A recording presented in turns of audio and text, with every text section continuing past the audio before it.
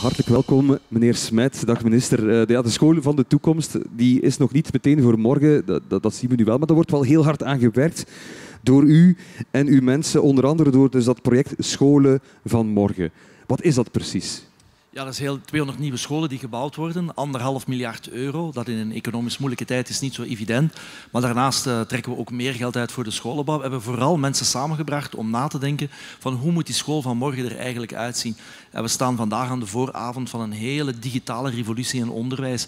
Je merkt dat thuis al. Als kinderen thuis zitten, dan uh, zijn ze met de computers bezig, met de iPads bezig. Ze denken veel meer in beelden dan in, uh, in taal op een klassieke manier. Ze worden geprikkeld op een andere manier. En dus moet onderwijs daar aanpassen. Dat wil niet zeggen dat het minder inspanningen zal vergen, minder discipline zal vergen, maar het zal wel anders gebeuren. En dat betekent ook dat je een klaslokaal, dat nu toch nog altijd heel klassiek is, heel vaak een, uh, een rechthoek met een bord ervoor, en misschien wat in andere kleuren en wat andere tafels enzovoort, maar in essentie is het nog altijd zoals 100, 200 jaar geleden. Dat gaat in de toekomst allemaal veranderen.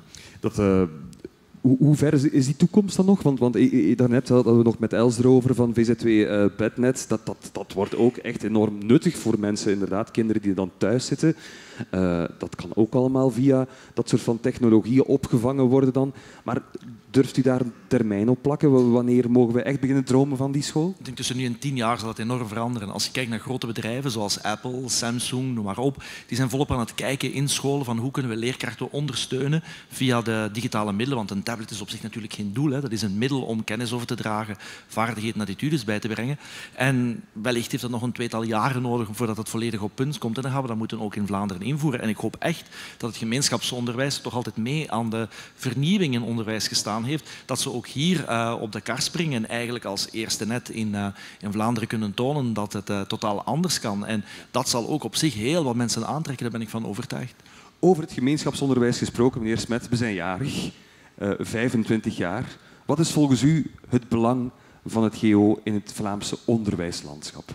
Ja, het is heel belangrijk. Hè. Ik denk dat we een neutraal onderwijs nodig hebben, dat we een publiek onderwijs nodig hebben. En dat is wat het uh, GO uh, doet op dit moment. En je hebt dat nodig, omdat niet iedereen dan naar een vrij initiatief moet gaan. En het moet een sterk net worden. Dat is ook de reden waarom we aan het kijken zijn hoe we het publiek onderwijs in Vlaanderen kunnen versterken.